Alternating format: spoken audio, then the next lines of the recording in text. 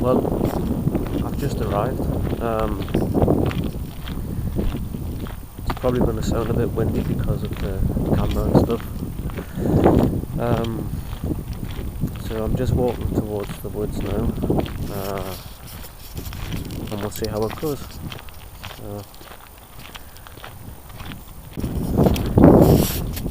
Um, I'm just using the the small camera so I'm holding it? So I don't know if the video is going to be uh, any good. But we'll see. We'll see how it goes. The weather's not bad today. Um, especially considering it's October. So I can't complain to be honest. So once I find a decent enough location I'll uh, I'll set the drone up and get the GPS signal and and all that stuff um, and see how it goes. It's pretty quiet down here today. It's uh, a couple of people picking blackberries, uh, which is kind of funny because you don't really see that these days, you know. Loads of people used to go picking blackberries I guess for blackberry pie. So I'm heading in that direction, clearly. Uh, and once I get to that junction, I'm going to head right uh, into the woods, and hopefully I'll find the place that I'm looking for.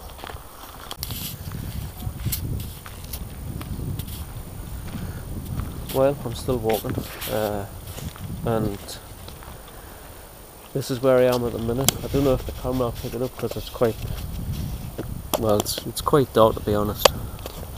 Obviously because of the trees and stuff, uh, but this place is absolutely awesome. Um, it doesn't matter what time of year you come down, whether you come down in the in the summer, it's great. You come down in the autumn, it's great. Uh, obviously, it's a bit cooler, but um, you know it changes because of the the seasons and stuff like that. So gives you a different look. So obviously, some of the leaves are dropping off now. Obviously, you can probably hear there's an airplane flying over.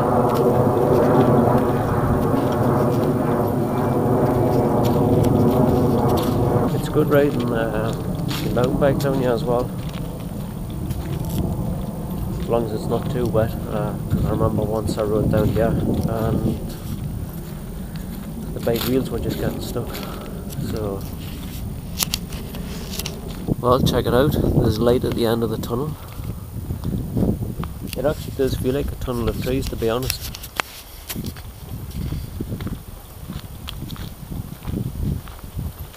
So, well, we had a few storms recently, uh, so I'm going to assume that uh, some of the trees have fallen.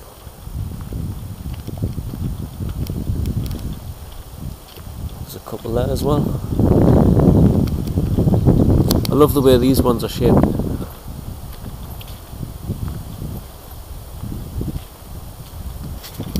Uh, obviously, as I'm getting to the end of the uh, the shelter or the shade from the trees, the wind's picking up again.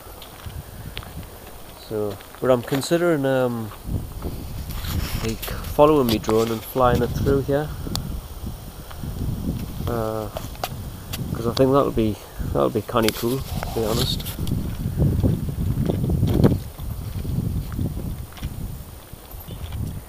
Can't see because I'm getting blinded by the sun.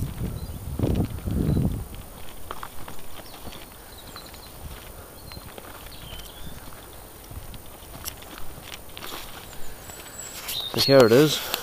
We're going to come through here.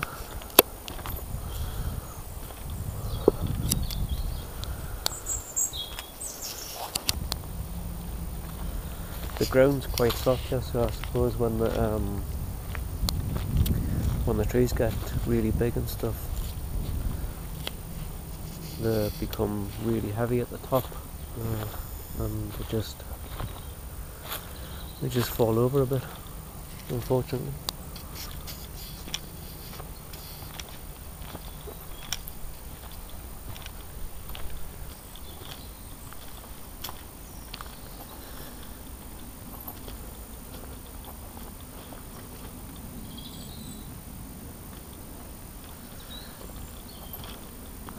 It's always good to find new places to have a look at.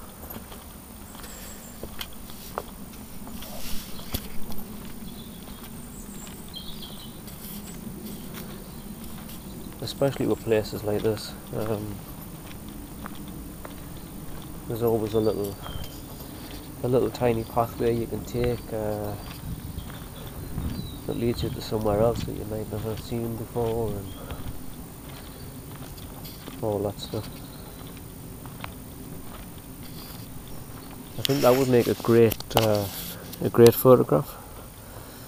You know, with the two different colours contrasting and stuff. Um, so I'll probably come back with my other camera and my tripod. I didn't want to bring everything out with us today because it's just far too much to carry uh, and set up and all that. So many different ways that you can walk. So, well, I shall have a look around.